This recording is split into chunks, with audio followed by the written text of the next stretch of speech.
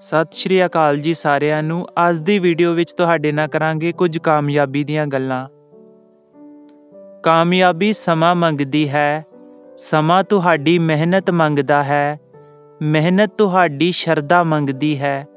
ਇਹ ਤੁਹਾਡੇ ਤੇ ਨਿਰਭਰ ਕਰਦਾ ਹੈ ਕਿ ਤੁਸੀਂ ਕੀ ਕੀ ਦੇ ਸਕਦੇ ਹੋ।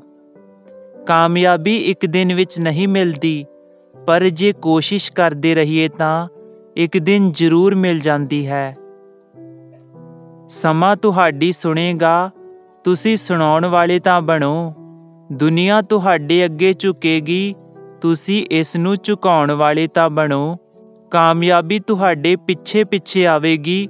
ਤੁਸੀਂ ਕਾਮਯਾਬੀ ਨੂੰ ਸੰਭਾਲਣ ਵਾਲੇ ਤਾਂ ਬਣੋ। ਰਾਹਾਂ ਵਿੱਚ ਭਟਕਣ ਵਾਲੇ ਸਾਰੇ ਲੋੜਵੰਦ ਨਹੀਂ ਹੁੰਦੇ। ਜਰਾ ਸੰਭਲ ਕੇ ਰਿਹਾ ਕਰੋ ਜਨਾਬ। ਕੁਝ ਲੋਕ ਲੋੜਵੰਦਾਂ ਦੀ ਉਡੀਕ ਵਿੱਚ ਵੀ ਭਟਕਦੇ ਨੇ। ਕਿ ਕਦ ਸਾਨੂੰ ਲੋੜਵੰਦ ਮਿਲਣਗੇ ਤੇ ਕਦੋਂ ਅਸੀਂ ਉਹਨਾਂ ਦਾ ਫਾਇਦਾ ਚੁੱਕਾਂਗੇ।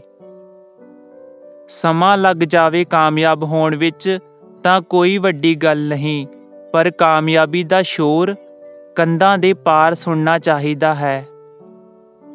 ਦੁਨੀਆ ਵਿੱਚ ਹਰ ਚੀਜ਼ ਵਿਕਦੀ ਹੈ ਜਨਾਬ, ਪਰ ਕਿਰਦਾਰ ਨੂੰ ਵੇਚਣ ਵਾਲੇ ਟਾਵੇਂ ਟਾਵੇਂ ਹੀ ਹੁੰਦੇ ਨੇ। ਕਾਮਯਾਬੀ ਦੇ ਸਬਕ ਲੈਣ ਲਈ ਚਾਹੇ ਕੁਝ ਮਰਜ਼ੀ ਵੇਚਣਾ ਪੈ ਜੇ, ਪਰ ਸਮਾਂ ਤੇ ਕਿਰਦਾਰ ਕਦੇ ਨਾ ਵੇਚਿਓ। ਜੇ ਇਹ ਇੱਕ ਵਾਰ ਵਿਕ ਗਏ ਤਾਂ ਇਹਨਾਂ ਨੂੰ ਵਾਪਸ ਲੈਣ ਦੀ ਕੋਈ ਤਰਕੀਬ ਅੱਜ ਤੱਕ ਬਣੀ ਹੀ ਨਹੀਂ। ਧੰਨਵਾਦ ਦੋਸਤੋ ਵੀਡੀਓ ਵੇਖਣ ਲਈ। ਜੇ ਤੁਹਾਨੂੰ ਸਾਡੀਆਂ ਇਹ ਗੱਲਾਂ ਵਧੀਆ ਲੱਗੀਆਂ ਤਾਂ ਚੈਨਲ ਨੂੰ ਸਬਸਕ੍ਰਾਈਬ ਕਰਨਾ ਨਾ ਭੁੱਲਿਓ ਜੀ।